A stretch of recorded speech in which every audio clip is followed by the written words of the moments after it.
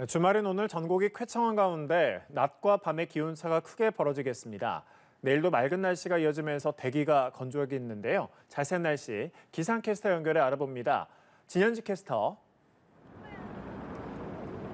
네, 기분 좋은 주말 보내고 계시나요? 현재 서울의 하늘 구름 한 점 없이 쾌청하게 드러나 있습니다.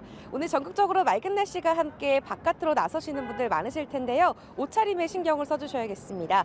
오늘 일교차가 10도 안팎으로 크게 벌어지겠습니다. 오늘 아침 서울의 기온이 영하 2.1도까지 내려갔지만 낮이 되면서 기온이 빠르게 오르고 있습니다.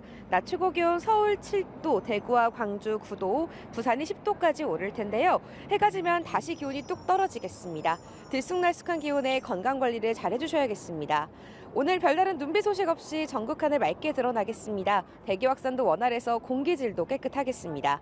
다만 수도권과 충청, 영남을 중심으로 대기가 건조하겠습니다. 산행 등 야외 활동 시 불조심해 주셔야겠습니다.